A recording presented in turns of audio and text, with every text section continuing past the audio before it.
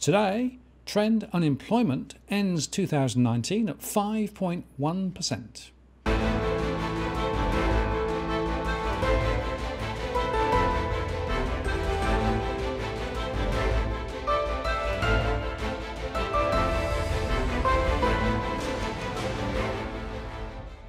Hello again, it's Martin North from Digital Finance Analytics. Welcome to the latest posts covering finance and problem news with a distinctively Australian flavour. Australia's trend unemployment rate decreased to 5.1% in December 2019, according to the latest information released by the Australian Bureau of Statistics today.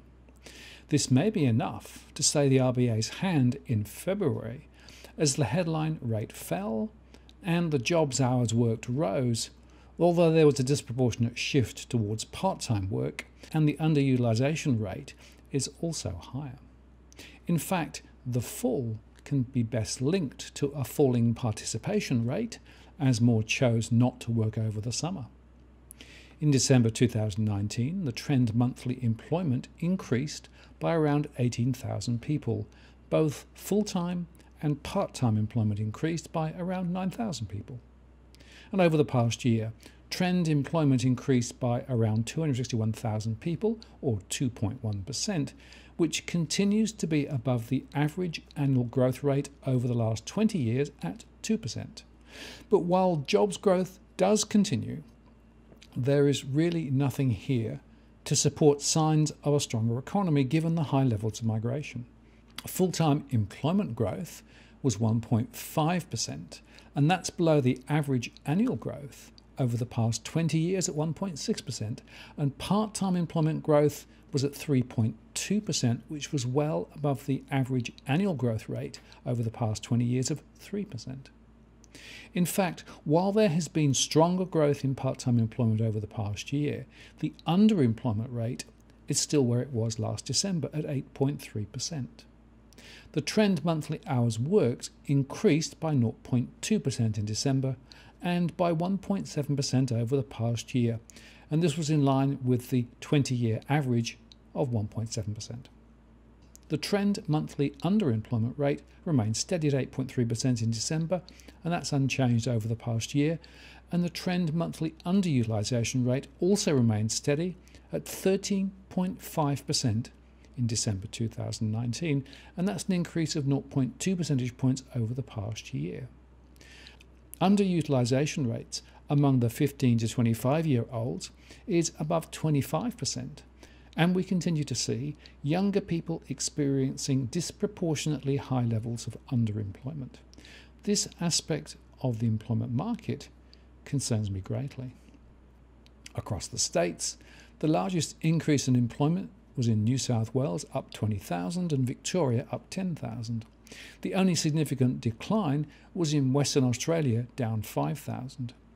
Even with the robust rise in employment, unemployment in Victoria lifted 0.3% to 4.9%, as there was a solid 0.3% rise in participation to 66.6%. The unemployment rate fell in all the other states, with the largest falls in Queensland down 0.6% to 5.7% and Tasmania down 0.5% to 5.5%. Unemployment fell 0.1% to 4.5% in New South Wales, and the participation rose there 0.2% to 65.5%, and it fell 0.6 percentage points in Queensland to 65.6% and down 0.5% in Western Australia to 67.7%. Over the year, unemployment rates fell in Queensland, Western Australia, Tasmania, and the Australian Capital Territories. And they rose in the more populous states. Unemployment rates increased in all other states and the Northern Territory. In conclusion, while rate cuts along with the government's tax offset payments should help to support demand, it's unlikely to be sufficient to get economic growth moving back towards trend or above in 2020.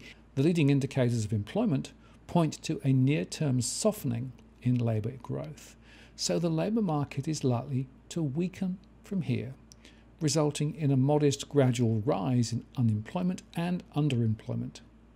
Even with the recent strength in employment, the Australian labour market has a long way to go to get towards the RBA's target of 4.5%.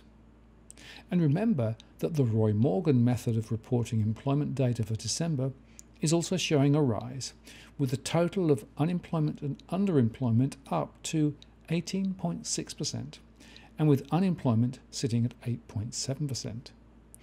Now, that's given their tighter definition of being employed, but to my mind, this is probably a better reflection of the true state of affairs.